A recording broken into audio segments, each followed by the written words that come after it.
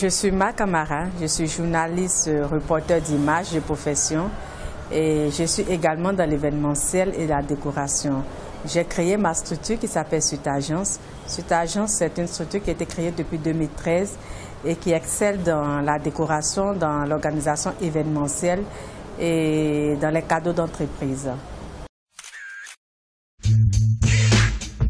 À Suite Agence, notre domaine d'activité, euh, comme je viens de l'indiquer, c'est nous sommes plus dans l'événementiel, dans la décoration et dans la confection et les conseils de cadeaux d'entreprise.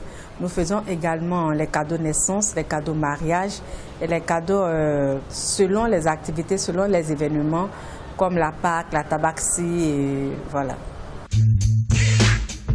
Notre particularité à Suite Agence, nous mettons un accent sur les produits du terroir. Nous utilisons beaucoup les pains tissés.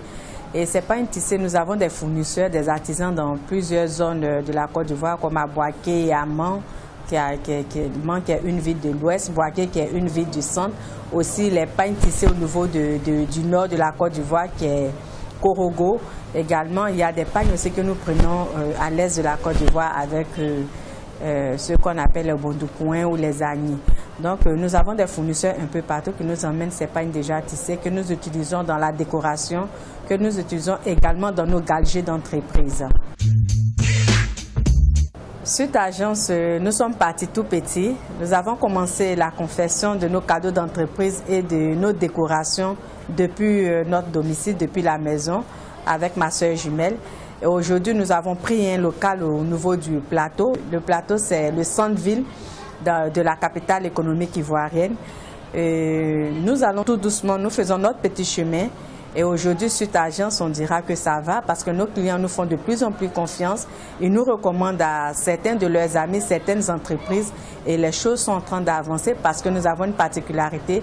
Notre touche, c'est vraiment une touche africaine, une touche ivoirienne avec les pagnes tissées.